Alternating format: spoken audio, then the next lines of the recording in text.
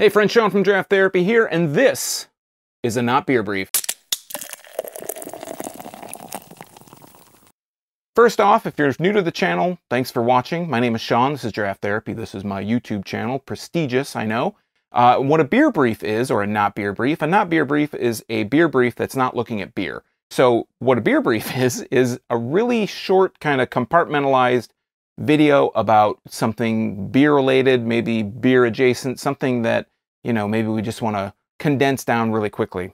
So today's not beer brief is Pabst Blue Ribbon Hard Cold Brew. This is 4.2% alcohol by volume. It is slightly sweet and dairy free, which I believe their regular hard coffee does have lactose. I could be wrong on that. Across the back here it says Pabst Blue Ribbon Hard Cold Brew, as I mentioned before. It's a kind of a dark brown and white can. I started seeing this on shelves just, you know, within the last couple months. Uh, I know they have a hard tea as well, which I don't think I'll be trying because that just doesn't sound very appealing to me. But let's go ahead and crack this. First off, thanks to my buddy David Orr for giving me this glass from Racing City Brewing Company in Saratoga Springs. Also want to take this time to thank my executive producers, Ryan Barry, Rob Santana, and Eric Latowski for making this video possible. Let's go ahead and crack this. And what I like to do on this channel is I put a nose on the can. It smells chocolatey. So the, the hard coffee had like a chocolatey kind of flavor to it. It tasted, some people say yoo-hoo, alcohol, alcoholic yoo-hoo. Easy for me to say, but let's see how this one is. So let's go ahead and pour this. A lot lighter than the hard coffee. Uh, that one was really, really kind of milky looking. This one Smells really similar. It does have like a chocolatey kind of note, a chocolate milky kind of aroma to it.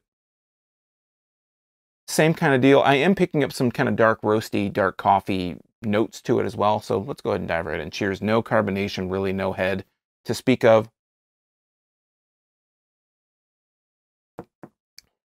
That is really light. Like the flavor itself, the mouth feels really thin, really light. It almost tastes watery at first.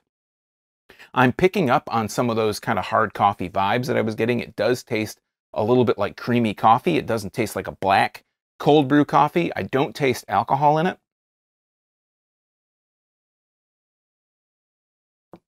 But you get such a thin flavor up front that when that kind of, when that real thinness, it's really indescribable thinness. It's almost water-like. When that goes away, that's when this really kind of dark, roasty, kind of coffee characteristic comes up, but you also, for me, I, I, get that same kind of flavor I was getting from the hard coffee that's kind of like almost a milky flavor, like a cream, uh, a sweetened cream kind of flavor. But again, this one says dairy free, so that, you know, maybe they did something else to get that flavor. Obviously didn't use dairy, but used something else.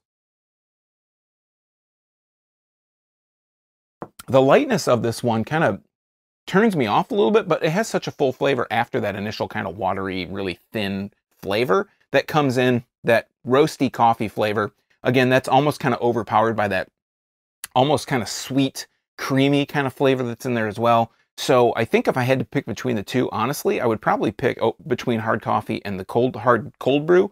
I would probably pick the hard cold brew. The reason being is I find that the hard coffee is a little bit too sweet. It has a little bit too much of a uh, artificial sweetener bitterness to it, which this one doesn't have because the the sweetness is just subdued a little bit more. It doesn't have such a strong, just astringent kind of quality on, on my tongue.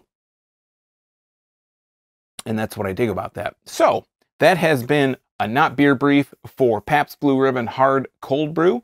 Hopefully you can find it on shelves near you. And until next time, I'm Sean from Draft Therapy. Thanks for stopping by. Remember, drink craft beer or whatever this is. Support your local breweries. That's the most important part. And most importantly, after supporting your local breweries, don't forget to treat yourself to a little draft therapy. Thanks for stopping by and thanks for watching. Cheers.